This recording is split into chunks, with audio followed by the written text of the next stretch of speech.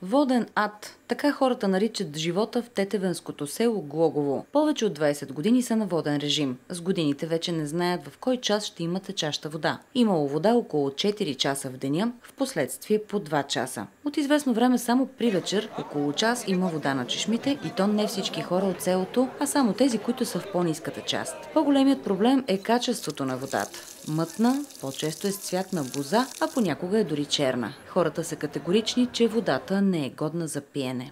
Каква е тази вода? Чешмяна вода. Аз живея в начало на село Глогово. Става ли за пиене? Ако искате, опитайте. Вие опитахте ли? Еми, с нощи пих от нея, няма как. Друга няма. Плащаме 3 лева кубик. Това е бидона, който събира водата за население. Аз съм се взел от 2016 година с този проблем. Довеждах ВК дружеството Лоч и следвахме вода. До ден днешен вече сме 22 година, никакво решение. Никакво решение. Само му викат не сутра, не сутра и това е. Искаме ги сега на място, няма никой представител на ВК. Къде са? Защо се крият? Аз държа кръчмата в селото. Трудно не е, просто няма, не пускаме клиенти в туалетната, че нямаме вода да мием. Какво е това? В 21 век сме наредили туби. Всичко не е в туби. Това е сметка за последния месец. Имам 2 часа вода, 30 дена по 2. За колко става въпрос? Водата не е гравитачно, наказано на селски език е на самотек. За некачествена услуга знаете, че не се плаща.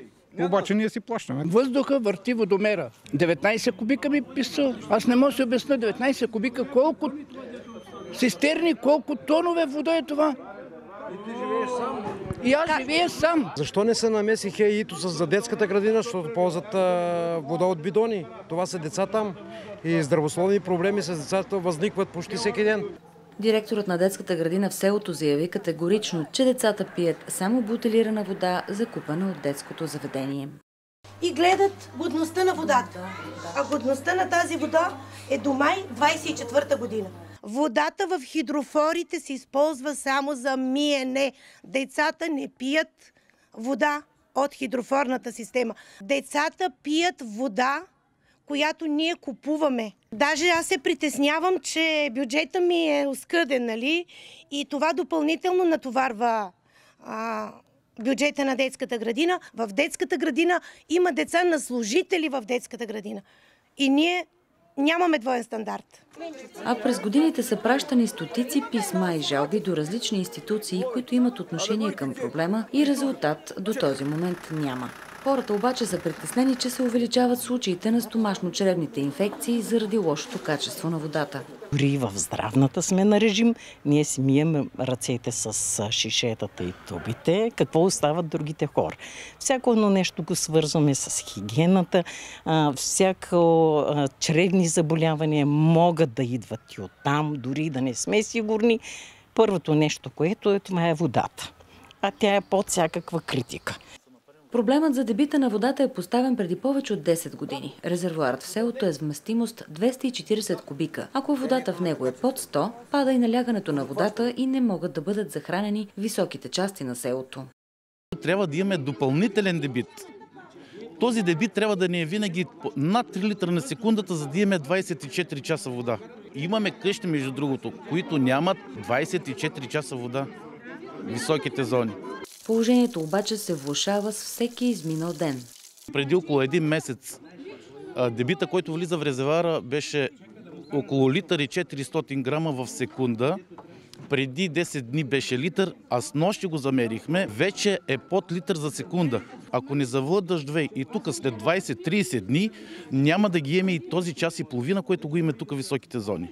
И тъй като водоисточниците намаляват, са взети проби от друга вододайна зона, която се оказва последна надежда за жителите на Глогово. Местността е бяла вода, тя не е последната надежда. Не стане ли там, обречени сме. С постановление на Министерски съвет са отпуснати средства за изграждането на два резервуара в село Глогово и село Галата. Два пъти вече е пускана процедура по реда на ЗОП. Избирани са два пъти изпълнители, които в течение на договора отказва да го изпълнят по различни причини. Едни свързани с трудния достъп до терена, други с инфлацията. И двата договора са прекратени, парите са възстановени по сметка на общината и към момента се подготвя процедура по ЗОП за трети път да се пусне. Ако няма обжалване по процедурата, договорът трябва да бъде сключен през януари и да започне изграждането. Но дали това ще бъде кардинално решение, не е ясно, допълни още Стоев. През това време сме инициирали много срещи с ВК Ловеч. За съжаление не срещаме голямо разбиране от тяхна страна. Също така имаме към МРРБ искане за отпускане на финансиране за едно хидрогеоложко поручване на терена на селата Глогово и Галата, защото дори да направим резервуарите, те ще са временно решение на проблема. Тук ни трябват по-скоро нови водоисточници да намерим. Потърсихме ВК Ловеч за коментар, но отговор не получихме дори и писмен. А в селото тече подписка, че хората спират да плащат сметките си към водоснабдителното дружество.